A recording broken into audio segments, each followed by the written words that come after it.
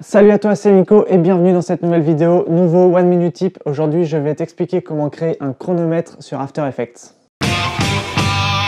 Donc ensemble, on va créer le chronomètre que j'utilise sur tous mes one minute. Il existe euh, bien évidemment plusieurs manières de le faire, mais je vais t'expliquer ma manière à moi. Donc on va l'amener à l'écran juste maintenant et c'est parti. Alors pour ça, il suffit d'aller sur After Effects, de créer une nouvelle composition. Moi, je me mets en 4K, 25 images par seconde avec un fond noir et une durée de 1 minute et 10 secondes. Donc bien sûr, selon tes besoins, tu peux adapter la durée, il n'y a pas de problème. Une fois que c'est bon, je vais venir créer un calque d'effet en faisant clic droit sur ma composition et nouveau calque d'effet. Ensuite, tu vas rechercher les nombre dans ta fenêtre d'effet et tu viens l'appliquer sur ton calque. Là, ça va te demander de choisir la police que tu souhaites utiliser. Si tu sais déjà quelle police utiliser, tu la choisis, sinon c'est pas grave, tu pourras revenir dessus plus tard. Tu peux aussi choisir le style de la police, la direction ainsi que l'alignement. Une fois que tu as choisi tout ça, tu cliques sur OK. Dans l'onglet des effets à gauche, tu as tout un tas de paramètres que tu vas pouvoir modifier. La première chose que je vais faire, c'est modifier la taille du texte de manière à ce que ce soit visible. Donc je vais l'agrandir. Ensuite, je peux modifier la couleur ainsi que le style de remplissage. Je vais pas m'attarder là-dessus puisque c'est pas le plus important. Ce que je veux, moi, c'est créer un chronomètre. Donc pour ça, on va avoir besoin d'un indicateur de temps. Tu vas dans format et que tu déroules les options, tu as ici l'indicateur de temps. Donc je viens cliquer dessus et si je fais un rendu, tu peux voir que tout est à zéro. Rien ne bouge. C'est normal parce qu'on n'a rien animé. Donc pour ça, je vais me mettre à 5 secondes du début. Je vais placer une image clé sur la valeur et je vais mettre 60. Ensuite, je viens me placer une minute plus loin et je viens mettre la valeur 0. Ça va ainsi créer une autre image clé automatiquement et là, tu peux voir que mon animation se fait et mon chronomètre est maintenant terminé. Alors bien sûr, tu peux venir le placer où tu veux sur ta composition ainsi que modifier la taille, la couleur, l'approche, l'opacité, tout ça. Ça, c'est vraiment euh, libre à chacun. Si tu veux modifier la police, il te suffit tout simplement d'aller dans les options de ton effet et tu peux choisir celle qui correspond à tes besoins. Enfin, il te faudra exporter tout ça et ça tombe bien, j'ai déjà fait un tuto sur comment exporter une vidéo avec un fond transparent. Tu peux tout simplement cliquer ici pour la regarder. Voilà, c'est la fin de ce petit tutoriel. J'espère que ça t'a été utile. Si tu as la moindre question, n'hésite pas à me la poser dans les commentaires juste en bas. Je me ferai un plaisir d'y répondre et moi je te dis à dimanche prochain pour une nouvelle vidéo. Ciao